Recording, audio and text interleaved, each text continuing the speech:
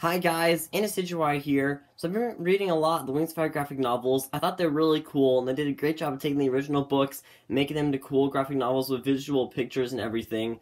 But the first Wings of Fire graphic novel happens to be home to probably what is the cursed image Wings of Fire. So I'm going to be showing it to you guys.